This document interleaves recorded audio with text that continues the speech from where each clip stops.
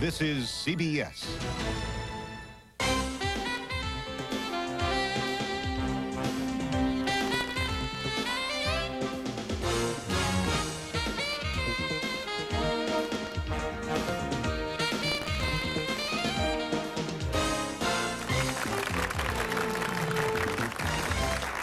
Good afternoon, everyone. I'm Liz Bruner. Kathy Fountain has the day off. As you watch our show today, imagine the four walls around you as your prison. The thought of walking out of your front door brings on a wave of panic. You're too afraid to go out and do Christmas shopping. You can't even go to the store for a gallon of milk, and you're too afraid to take your own child to the hospital in an emergency. Well, it's called agoraphobia, and 10% of us suffer from these kinds of panic attacks. And someone who knows all about this is Martha Cadden. Martha, when did you first realize that you had these fears? What brought them on? How did it all start? For me, it started in church. I went to church one Sunday morning, and I thought perhaps it was the heat. It was in June. And I started feeling very sick to my stomach. Uh, my legs were very wobbly. Uh, my chest was very tight. My heart was racing, about like it is now. and uh, I just felt like I was going to pass out. So I was taught that you never leave church, which is nonsense, but uh, that's how it was. And uh, the symptoms persisted, so I, I decided that I did have to leave. The next week, it happened again. The. Where were third you, at- at week, church at again? church again. Then the third week, amazingly, it started on a Saturday, thinking that I had to go to church. So we tried a new church, and of course, it was not the new church because I had the same problem. And from there, it escalated into so many other areas of my life. How old were you when this started? I was 20 and a bride of two months. A bride of two months. Your husband must have been going, what is the matter here? He did. How did he deal with this? Well, at first, of course, we were both very concerned. Uh, we just figured it was something, f- you know, physical, and of course it wasn't. And for the next 23 years, uh, he hung in with me. He had some very angry times, but overall, he was very supporting and loving. Did I was ever- very fortunate. Did he ever want to leave? I mean, did when in those bad times, did he just say, "I've had enough of this. I can't deal with this"? Believe it or not, no. I said several times, I need to leave and free you. And of course, he wouldn't hear of it. But no, he never once, ever suggested that he leave. You were very, very lucky.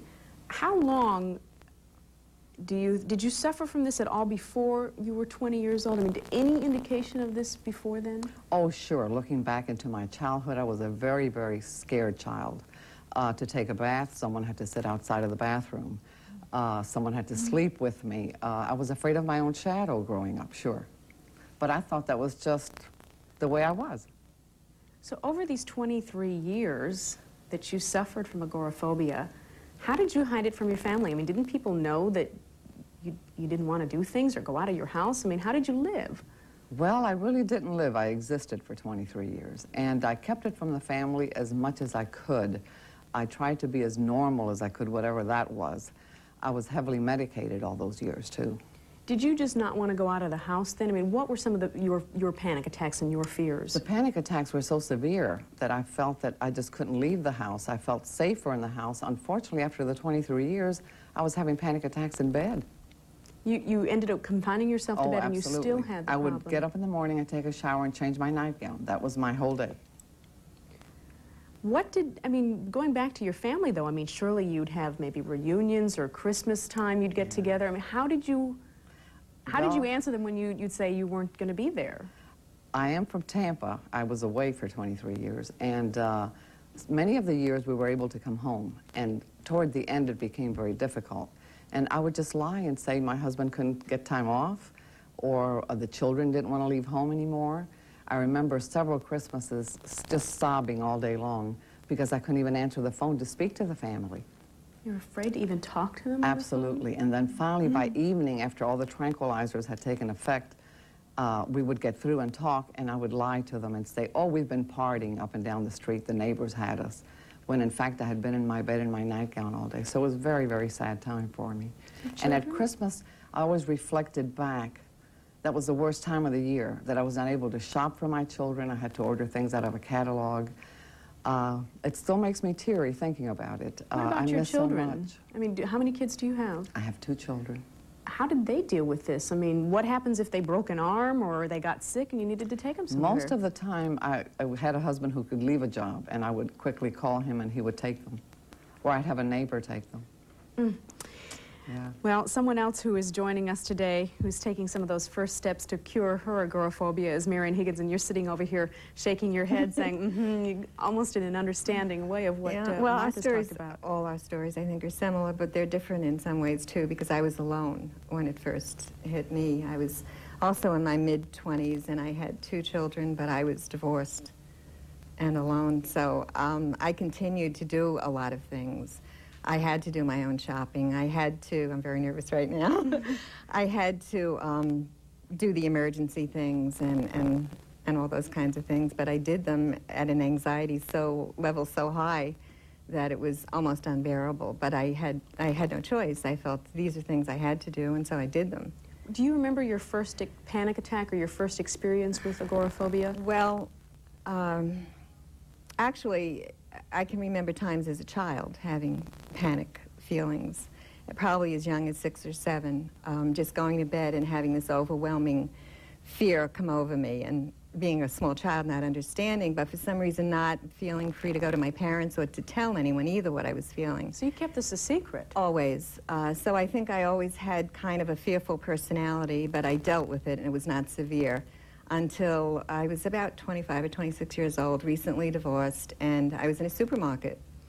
And it just hit me so strong. The walls came, came in on me, the, the floor came up, the lights were blazing, and I thought, I'm having a stroke or a heart attack or just something horrible is happening. And I have to get out of here. And I had a basket full of groceries, and my daughter at the time was about eight years old, and I handed her my purse, and I said, pay for the groceries. I have to go outside. And you just ran. And as soon as I got outside, I started to feel better. And I did manage to go back in. But after that, it came, at, you know, while I was driving in different places until um, there was no safe place. And I definitely had lots and lots of panic attacks at home. So um, it was terrible. Well, I understand. And I didn't know what was wrong with me. Yeah, you had a little bit of a test this morning. You're trying to yeah. trying to get cured here. What happened this morning? Well, one of the big things that a uh, problem that I've had before and while I was in in the group with Martha um, was eating out. I had a lot of problem. Uh, I'd go to a restaurant and order the food, and as soon as the food would come, I'd feel trapped. Like now, I have to stay here and I have to eat it. And so my, I'd have a panic attack and I couldn't eat it and I'd have you to You couldn't leave. even eat? Couldn't eat it, no. I would take it to go. And um, sometimes I would just make excuses. I don't feel well, I have a stomach ache, but the bottom line was I'm having a panic attack. My throat is closing and my mouth is dry and I can't swallow. And what happened this morning? Well, this morning we all met for breakfast before coming here and I ate a hearty breakfast and enjoyed right. it. That's wonderful. Yeah. And when we come back, we're going to talk with a doctor who's going to explain why some of these behaviors happen with agoraphobics. Stay with us.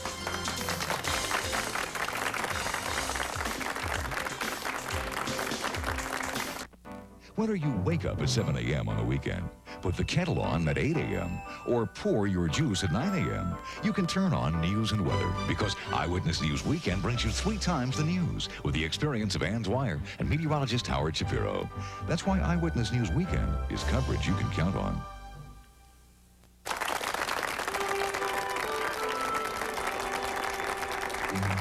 We're talking about people who suffer from panic attacks and have fears of leaving their home. And joining us right now is Dr. Gemino. And I'm curious, doctor, how does this start? Is there something that triggers this condition in people? There is. It's usually a combination of factors that uh, come into play. Uh, we do know there is a genetic predisposition. So it could be hereditary oh, then? yes, yes.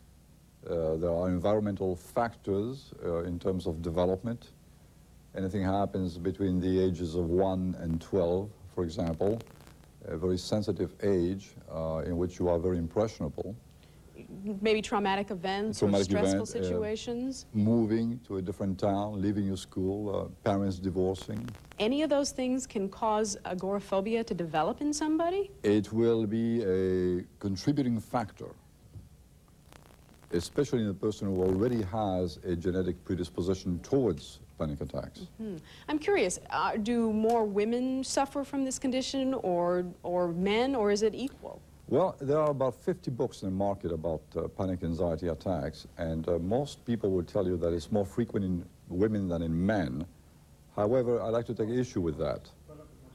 Uh, what does happen is that the men are less likely to seek help and they are more likely to self-medicate with alcohol. I think it's about 50-50. So they're better at covering it up. Yes. Men are than, Yes. than actually dealing with the situation. Exactly.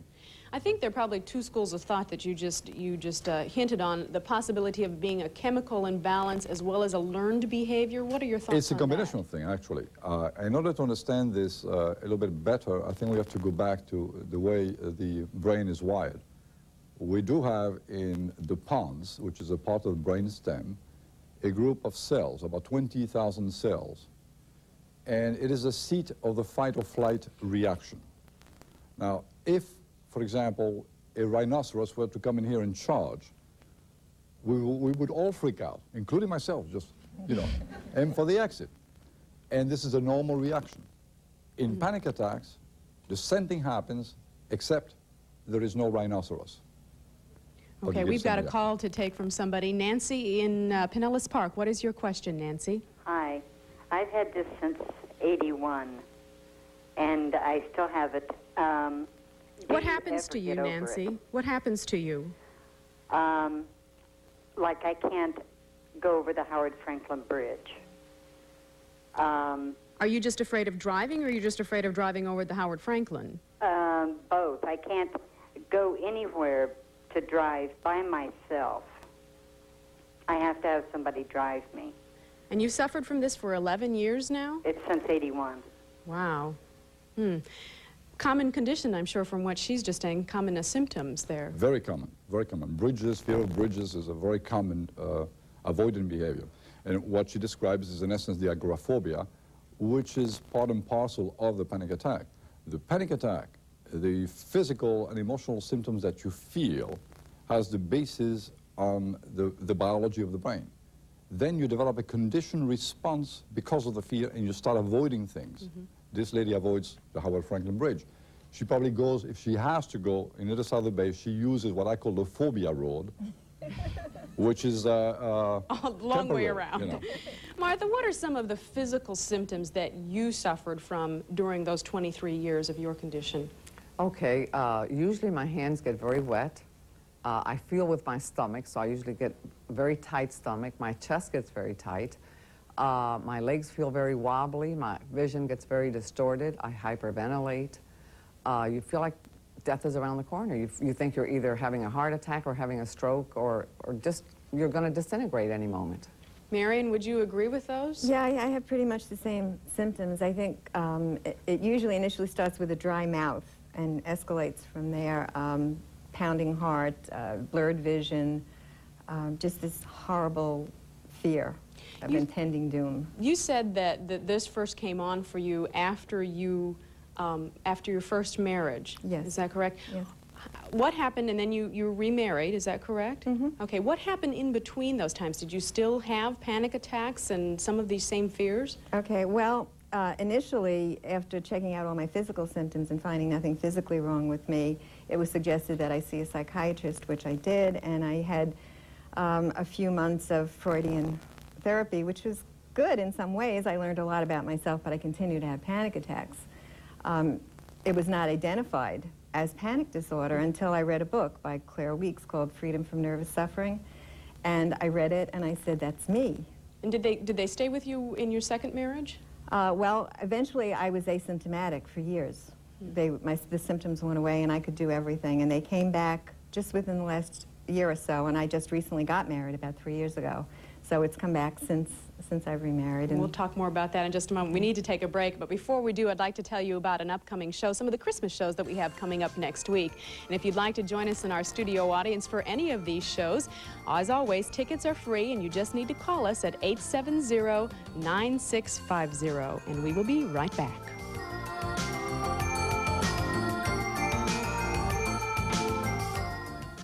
You witnessed a winner